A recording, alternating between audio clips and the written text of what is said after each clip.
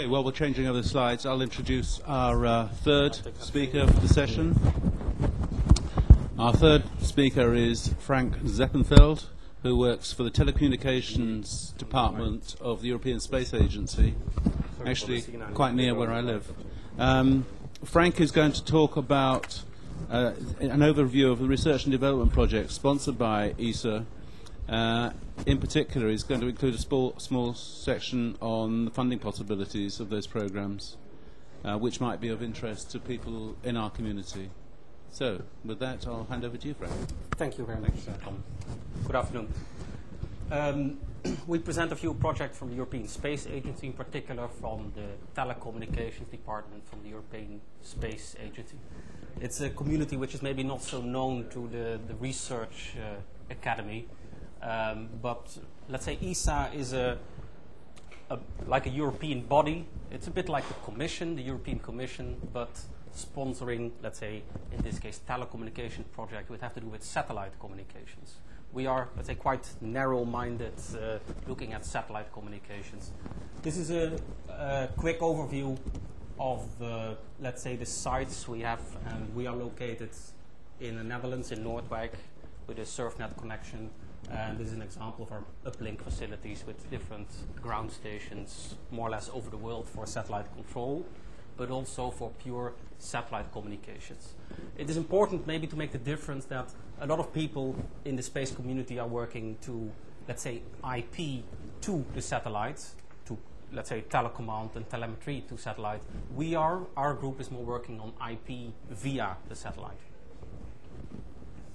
The way ESA works is that ministries of education and science, they put lots of money into ESA and we distribute that again via projects and uh, certain policies and let's say priorities.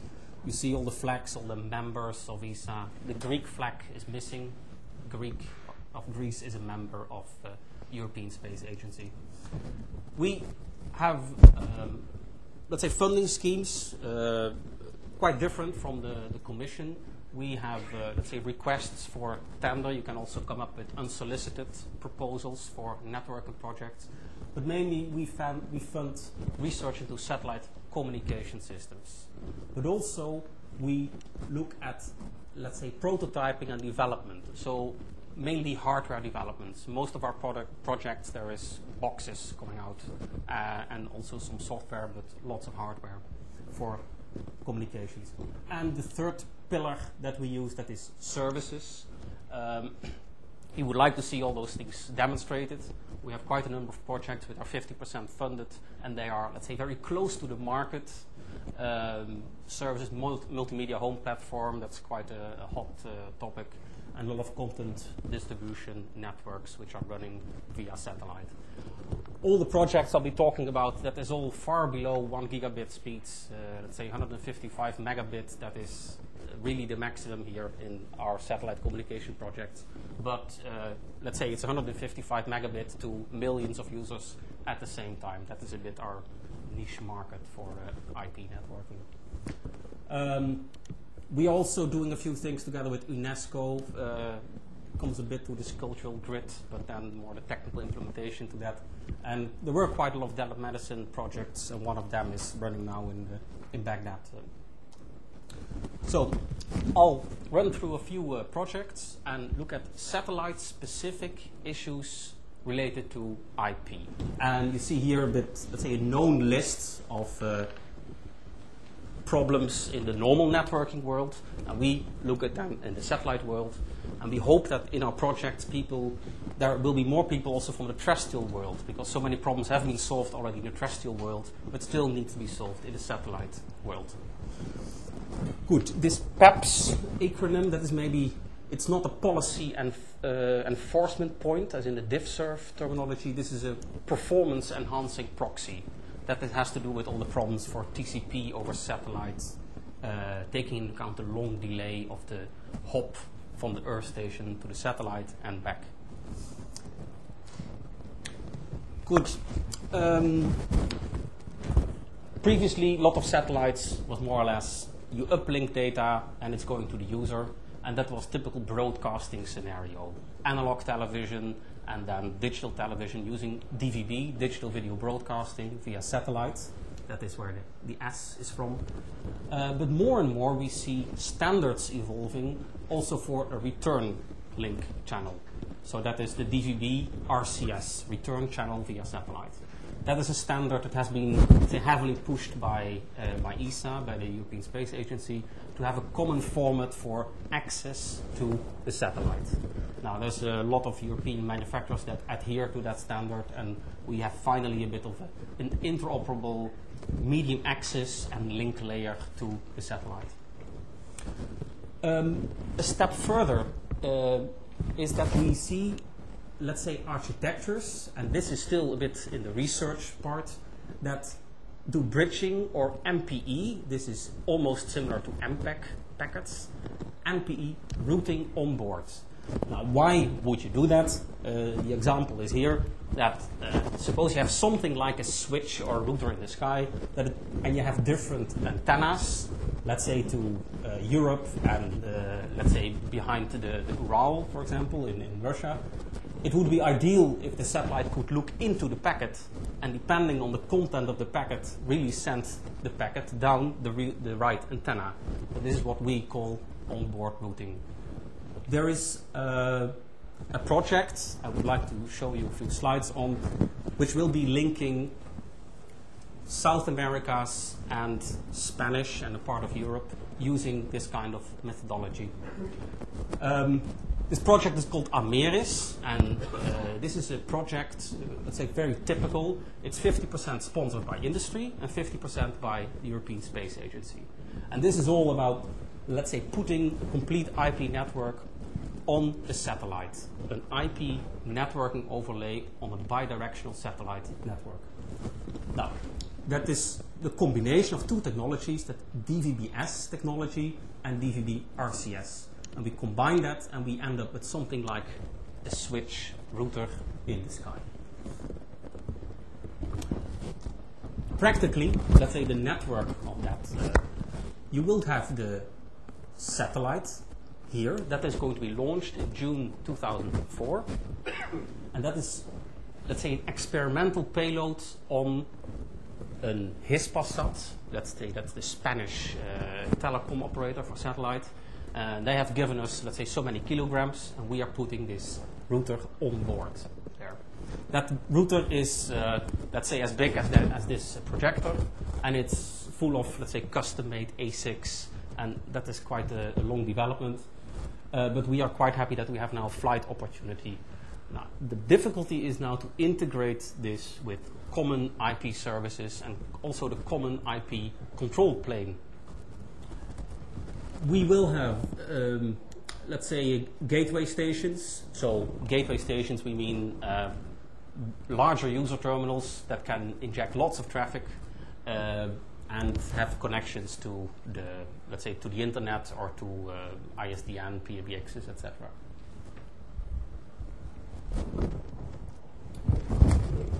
Services that will be running is would say typical ISP and VPN access. It's a bit uh, DSL in the sky, would say ADSL in the sky, um, let's say architecture. But more and more we see um, the need for very specific multicast groups. In the, the, satellite world, you see more and more like micro broadcasters. In the internet, let's say everybody has his website and can do push traffic.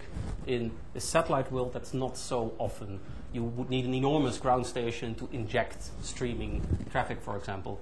Now, this would allow people with a, let's say, 2,000 euro terminal to uplink, let's say, up to 8 megabits of streaming traffic to millions of users. Now, the beauty of this system is then that it has four spot beams, and it will automatically look in which spot beams there are members. So this needs to be integrated with IGMP control plane. Now, there is where we experience uh, real practical problems. Um, the other issue on quality of service, previously in satellite communications, it was like one big pipe used for trunking. If we have now more and more, let's say, little companies, more SOHO access, there is definitely a need for quality of service, and this would be the first system that is doing that. So this system here will be, let's say, quality of service aware in the sky.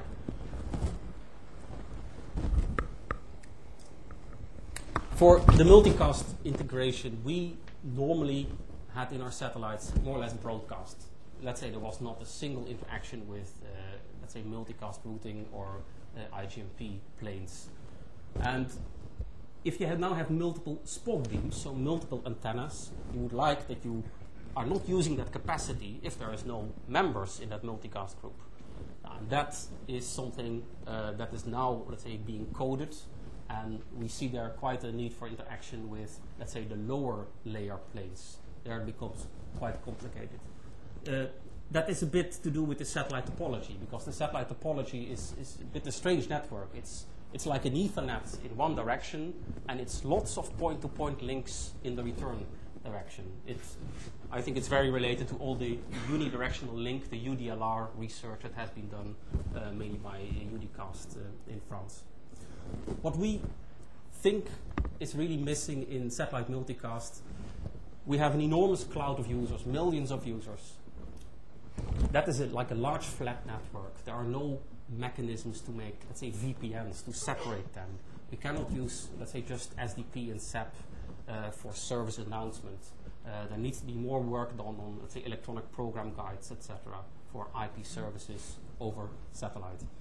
And Moreover, uh, we think there is still, this is a, a, system we are launching, will have some uh, parts implemented of, let's say, PIM routing protocol linked to the satellite, but still you would like that the satellite would be completely PIM sparse mode aware so that it's not starting to forward traffic into certain spot beams where there are no members. The other issue is uh, uh IGMP in general. Um, because this is such a strange topology, like, like an Ethernet forward and this point-to-point links in the Mac, uh, if you are a, a, bit aware how IGMP works, that a lot of other hosts on the Ethernet also listen to lots of IGMP reports, not to send lots of data that they're still interested in this group. Um, that is something that won't work in satellite. If one user is saying, I am uh, not interested in this group, and IGMP reports need to be uh, rebroadcast over the satellite link because it's, it's not a full broadcast network. That is work we are doing, and that is resulting in, let's say, drafts to uh, IETF and ETSI committees to adapt IGMP timers and to, let's say, request from hosts that they are uh, allowing a larger response time to the IGMP reports or the IGMP queries. From the quality of service in the satellite network, um, we will currently have gateways, and they can be linked to beautiful DiffServ-enabled networks and everything on it, but we have very little means to put that further on the satellite. There is a lot of things missing in that satellite station. There is no, there's no good, good MIB uh, definition for DVB equipment, for encapsulators, because in the end, you will need to map IP quality of service on some kind of link layer it, it looks a bit like uh, previous research, I think, on IP quality of service to ATM classes of services. How to put uh, certain DiffServs on, let's say, VBR or ABR. Um, also, the services for the voice over IP. Um, it's known what voice over IP needs, but how to implement that in a satellite network where you have shared access to a common medium in a kind of, let's say, time division multiplexing, a kind of demand assignment medium access, that is quite uh, a problem. You, you, can show that, let's say, in several conferences this is being addressed, that it has no use, for example, in satellite communication to, do, to use certain codecs, because the granularity of the satellite access will not give you any benefit at all. So we tried to initiate some work uh, on this quality of service, uh, both in the forward link, so let's say from a gateway station to the users, but also from the users back to the gateway station. Now, one study that was uh, just finalized last December. That's done by uh, the people you see there mentioned, uh, the German company VCS Engineering, University of Salzburg, critical software and input from us. Um, we wanted to have a DiffServ aware satellite station for uplink.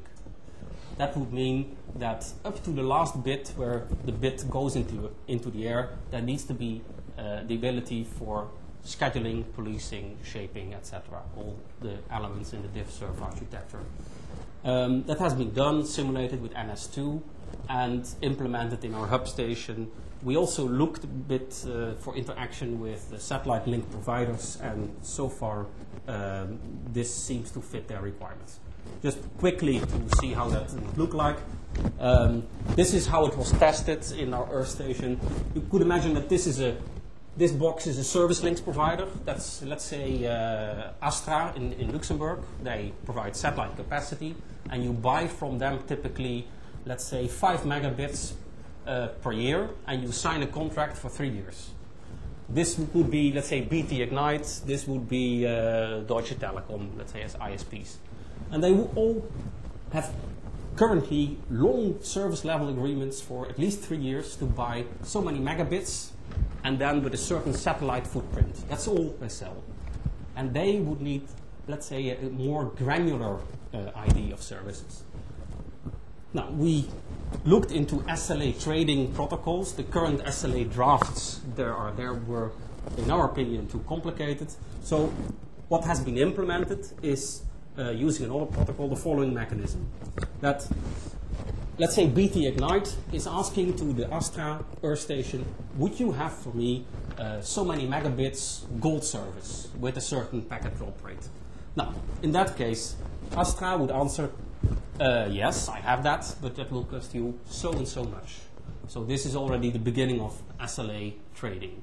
That is implemented with a protocol called IOTP, Internet Open Trading Protocol. That is a, let's say, FAT RFC, and it's only a few messages that we use from that protocol. Otherwise, that would be far too complicated. So this is for the financial arrangements and to come to an agreement.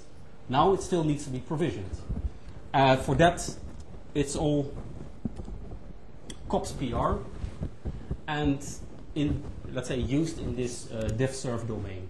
So up to here, let's say when the bits go into the air, you are fully in control of the bits, and there is a complete billing mechanism using IOTP. So this would provide satellite uplink providers with a more flexible way to sell their capacity using this DiffServ uh, architecture. Now, this is, let's say, maybe the easy part that is going in the forward link, where lots of aggregated traffic, real, let's say, DiffServ approach would fit there.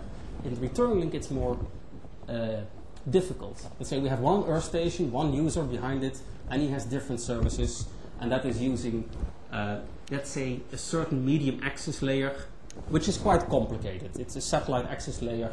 Uh, It's probably as really as complicated if you go to the QoS definition for 802.11, if you really want to do QoS on that access, that medium access layer. So we miss some mechanisms like this, uh, and therefore we did another study, and that is just starting to be able to do this mapping a bit better. So practically, we're looking for the following uh, thing. That was the same what the ATM IP people were looking for. Let's say this is a host, this is a terminal, and I want to do voice over IP with, uh, let's say, this codec, and that needs to be mapped in certain, in DVB-RCS, this is called uh, uh, resource allocation. You can have, let's say, a bit fixed bit rate, you can have a, a rate-based assignment, you have kind of volume-based assignments, there's all kind of possibility, and that needs to be a mapping. Good. The following is the, on the IPv6 uh, front. We we follow a lot the let's say European projects, and there's enormous amount of IPv6 uh, work ongoing.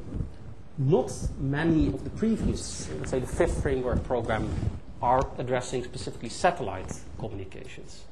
And let's say it's our worry a bit that the satellite community, community is a bit lagging uh, behind.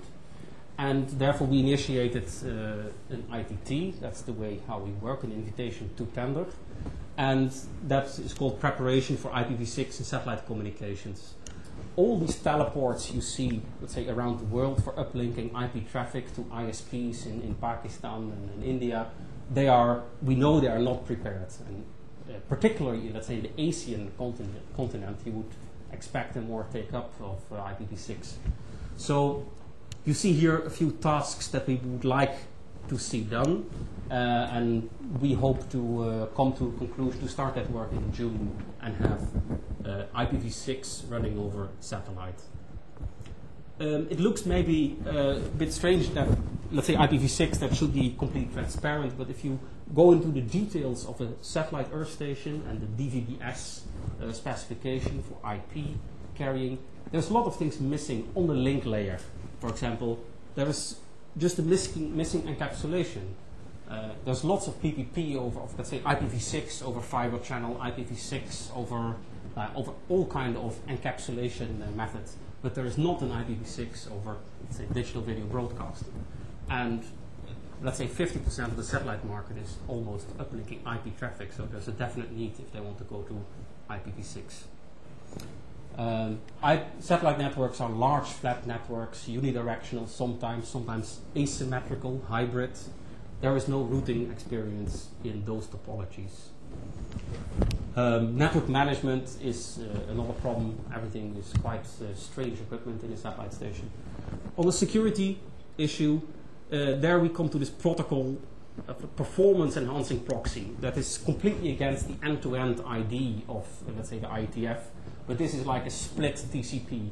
The TCP needs very large windows if you want to use that over satellite. I think that's a, a known, studied problem, and there's a few RFCs on that. But still, people buy commercial protocol enhancing proxies to have a bit of TCP performance over satellite. Now, all those protocol enhancing proxies in the commercial world, they need a clear TCP header. There is no way you can run ESP or tunnel modes uh, over a satellite. That's a real problem. Furthermore, furthermore, later on when satellites are, will be used also in trunking scenarios, you would like to do MPLS over DVB. Also doesn't exist. So you see that there's all this DVB standard that's really from the broadcasting world. Never somebody thought about doing IP over digital video broadcasting. And there is a lot of uh, things going on uh, in, let's say, informal level to increase this uh, encapsulation for IP. What we hope, what will happen, we uh, put out a, a, smaller invitation to tender to make prototype implementations of, let's say, DVB receiving cards and a DVB sender. And there, there's a group of, let's say, 70 people that hopes to establish in Vienna at the IETF an IP over DVB working group. There we will have BOF there, and uh, let's hope that it works to have uh, some implementation so that we can uh, show that, let's say, that area director that there is a need for some IP over DVB. It's not only DVB-S, it's also DVB-T and uh, IP over the cable infrastructure, etc. That needs some work. Good. This is a I was this is a typo. This should be uh, performance enhancing proxies. That is all the problems over TCP satellite. I won't spend uh, any time uh, on that. The only interesting thing, which is a bit IETF related, that it seems that it's now allowed to use information from the lower layers. Uh, it's a bit like explicit congestion notification. We have lots of information from the lower layer from the satellite but we wouldn't like to propagate that to the TCP uh, because we would like to have a clean layered structure. But uh, the co-funded project from the uh, Canadian uh, the Communications Research Center in Canada and some smaller company in Canada, Xiphos, they will look at say TCP interaction with the lower layers in satellite. Good on IP security. Um, we did some work looking at, let's say, conditional access and transport layer security. Um, I won't go in detail there, but look at the main findings. That satellite is really, that's for multicast only. There is our niche. We have no market on point-to-point connectivity. But the problem is that a lot of people just do not have security for multicast. Now, we decided to, to work on that because all these micro broadcasters that you currently have for streaming data, they need to have security to, let's say, to earn money. So Uh, we did work on the secure multicast. As you probably know, there's an IETF, this MSEC group, uh, ASMUC, MSEC now, and there is a draft on GSA KMP, Group Security Associations. Mm, what is it? Key Management Protocol. So it's a group key management protocol, an architecture, and also another draft, an IETF draft, I don't know which standards track status it is, is working on the key distribution for multicast security. This has been uh, implemented, and we are quite happy because this is the second implementation now uh, available. So now we have something to go to the IETF. Uh, that this will be reported upon also in the Vienna uh, IETF. You can imagine that is a real problem if, if you have 10,000 users, they listen to a certain video stream, they have paid for it, then one user is leaving the group, then you would need to rekey all the 9999 others. And that is a, a scalable a scalability problem. With this key distribution mechanism, LKE, LKH, this takes more a logar logarithmic scale. And important is that keying is distributed also in multicast. Uh, we have tested this, and this uh, really seems to work. So the keying traffic is uh, worthwhile, is, is far less than the data traffic. It's almost not noticeable. So this is, we think, a quite a nice development in the secure multicast area, which is not really satellite specific, but we need it in particular in satellites. Um, this is all done in collaboration with the, the RFC authors, uh, mainly from Sparta in the US. Good. Um, I will skip uh, this one. Uh, we disseminate our information mainly in, let's say, reports, which are freely available on IP networking. We hold uh, workshops. We normally don't use the internet for broadcasting. We do that via satellite because our community normally has satellite receiving capabilities with just a Linux box and your normal television dish. Um, we will work a bit more on uh, integration of terrestrial and satellite networking. That's a bit an obvious thing. Uh, there's more and more in interest in having more intelligence on board. You could imagine if you really would have your, say, Cisco on board, this would be perfect for reliable multicasting if you have different uh, spot beams, like uh, negative acknowledgements aggregation, for example. Now, there's projects in Japan, US, and a bit in Europe looking at these possibilities, or to have, let's say, MPLS switch capability on the router, on the satellite, sorry. Um, what is interesting, maybe as a research community, that we have cyclic tenders to work on satellite communications, uh, linked also to terrestrial applications. You can find that you can find that all in this uh, website, and these are typical projects from 150 kilo euro top 3 million euro, mostly 50% uh. Other information can be found here on the website of us. Um, we are very interested to support any networking activity. And if you're interested in, let's say, working in speeds also lower than the gigabits, but more a very say, specific uh, market niche in large scale, large geographical distribution of data, then uh, please uh, contact us. Thank you very much. If you have any questions.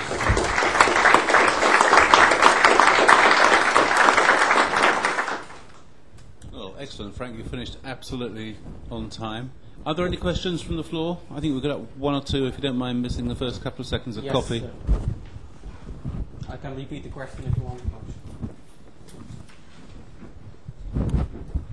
The recent news release from the NASA Yeah. said uh, that they are going to make the satellite using the Cisco router 3000, 3000 over that. Now, what's the impression of yours? Now, there's um, Cisco has quite an uh, aggressive space and defense initiative. Uh, I think they're mainly targeting now the defense market, but there's also a bit of space. And they have a very small router, the MAR, Mobile Access Router. That is like a PC 104 board. And that has all the things for mobile IPv4. Now also support multicast uh, IPv4. It's not doing the, the IPv6.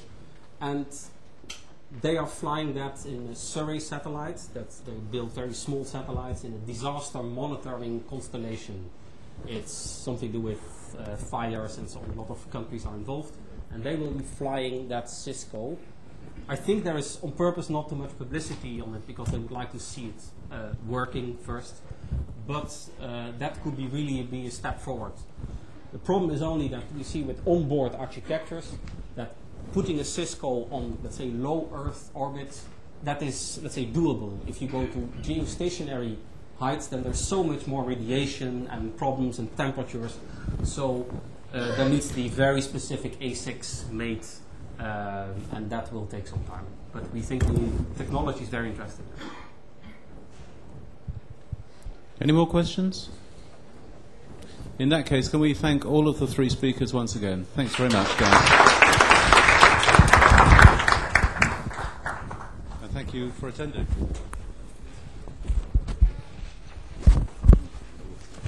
in Deutsch. Äh, bisschen, ja. Ich bin Holländer, aber wir können Deutsch reden, ja. Für Sie gesprochen? Ja, ja, ja viel. Äh, ja.